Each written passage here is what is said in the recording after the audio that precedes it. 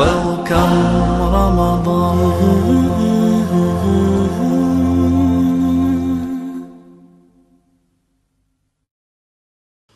أعوذ بالله من الشيطان الرجيم. بسم الله الرحمن الرحيم. الحمد لله رب العالمين والصلاة والسلام على أشرف الأنبياء والمرسلين محمد صلى الله عليه وسلم وعلى آله وصحبه أجمعين. Rabbi šrah li sadri, wa jesir li emri, vahlu l'ukdata min lisani, jefqahu qavli, thumma amma ba'd. Hvala i zahvala pripadaju uzvišenom Allahu Đerlešanuhu. Donosim salavat i selam na posljednjeg poslanika i miljenika Muhammeda sallallahu alaihi wa sallam, na njegovu časnu porodicu, na ashabe, na tabine i sve one koji ga budu slijedili do sudnjega dana. Draga i poštovana braćo, cijenjene sestre, assalamu alaikum wa rahmetullahi wa barakatuhu. Da li Allahova Đerlešanuhu milost obuhvaća sve naše grijehe? Odgovor na to pitanje naći ćemo u ajetima i hadisima Allahovog poslanika sallallahu alaihi wa sallam. Džibril, opisujući prizor poslaniku alaihi selam, kaže kada je Allah Đerlešanuhu potopio faraona, Džibril se spustio na dno mora, uzeo prašine sa dna mora i donio je i stavio u usta faraona kako ne bi izgovorio riječi zbog kojih bi mu Allah Đerlešanuhu oprostio. Pogledajte Allahove Đerlešanuhu milosti, draga braćo. Uzvišeni Allah Đerlešanuhu stvorio je milost od stotinu dijelova i samo jedan dio te milosti je spustio na Dunjaluk.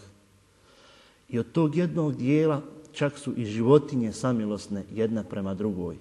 Pa krava nestane na svoje mladunče, pa konj podigne svoju kopitu kako ne bi stao na svoje rođeno i tako dalje. Sve je to od milosti onog jednog dijela kojeg je uzvišeni Allah Đerlešanuhu spustio na ovaj svijet. Uzvišeni Allah Đerlešanuhu kaže وَرَحْمَتِي rahmeti كُلَّ kulle. Moja milost sve obuhvata. Zato, draga braćo, uzvišeni Allah Đerlešanuhu od nas traži da prema njemu budemo pokorni, da mu se pokoravamo u svemu onom što nam uzvišeni Allah Đerlešanuhu kaže. Sjetimo se i hadisa u kojem Boži poslanik sallallahu alaihi ve selleme pita ashabe nakon što je vidio majku koja je izgubila svoje dijete i kada ga je našla, uzela ga je u svoje grudi, u svoje grudi i upitala, upitao ashabe šta mislite da li bi ova svoje dijete bacila u vatru. Pa kažu ashabi, ne bi Allahov poslaniće. A onda Allahov poslanik sallallahu alaihi ve selleme kaže u istinu je Allah Đerlešanuhu milostiviji prema vjernicima od ove majke. Allah Đerlešanuhu je prema tebi milostiviji i od tvoje majke koja te rodila, koja te dojila, hranila, uzgajala i tako dalje. Allah Đerlešanuhu je prema tebi milostiviji i od tvoje majke koja te rodila. Zato, draga braćo, uzvišeni Allah Đerlešanuhu od nas traži samo jednu stvar, da činimo teubu, da mu se kajemo za grijehe koje smo počinili.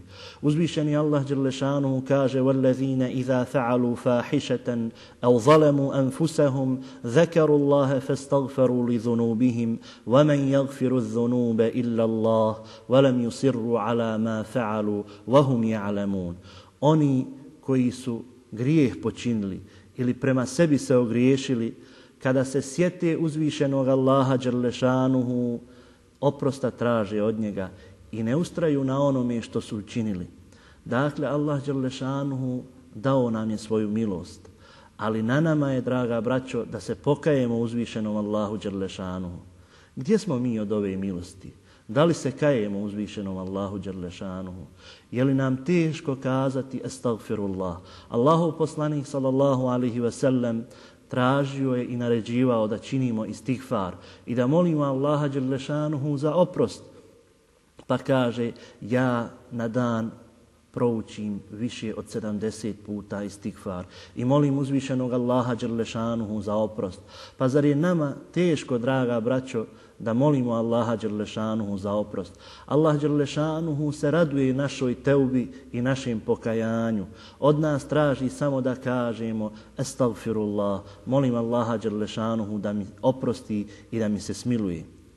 Uzvišeni Allah Đerlešanuhu u hadisi kuciju kaže Jebne Adame, inneke ma da'awtani wa raja'tani ala ma kana minke, wala agfiru leke, wala ubali. O robe moj, o sine Ademov, kada bi me ti zamolio i za oprost pitao, ja bi ti oprostio i to meni ništa ne bi predstavljalo niti značilo, niti bi povećalo moju vrijednost, niti bi smanjilo moju vrijednost. Jebne Ademe, leu belagat zunubu ke ana as samai, thumme stagfertani, lagafertu leke. O sine Ademov, kada bi tvoji grijesi dostigli do nebesa, pa me ti za oprost zamolio, ja bi ti oprostio. Draga braćo, na nama je da tražimo oprosta od uzvišenog Allaha Đerlešanuhu. Mjesec Ramazan je mjesec Teube, mjesec pokajanja uzvišenom Allahu Đerlešanu.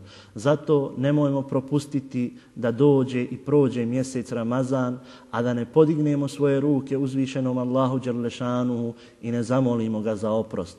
Dobro nam je poznat hadis u kojem Allahov poslanik sallallahu alaihi ve selleme kada se penjao na mimber kazao je tri puta amin, amin, amin.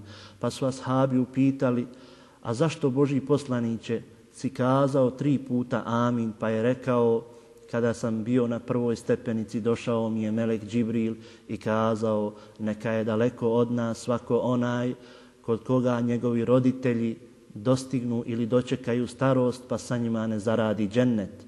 Pa sam rekao amin. Pa mi je kazao neka je daleko od nas svako onaj ko dočeka mjesec Ramazan a ne budu mu oprošteni grijesi. Draga braćo, ne dozvolimo da Ramazan prođe, a da nam uzvišeni Allah Đerlešanu ne oprosti naše grijehe i ne sačuva nas džehennemske vatre. Molim uzvišenog Allaha Đerlešanu da nam oprosti grijehe i da nas uvede u dženneti Firdeus. Ekulu qavli hadha wa astagfiru Allahe li wa lakum fa astagfiruhu innehu huval gafurur rahim. Assalamu alaikum wa rahmetullahi wa barakatuh.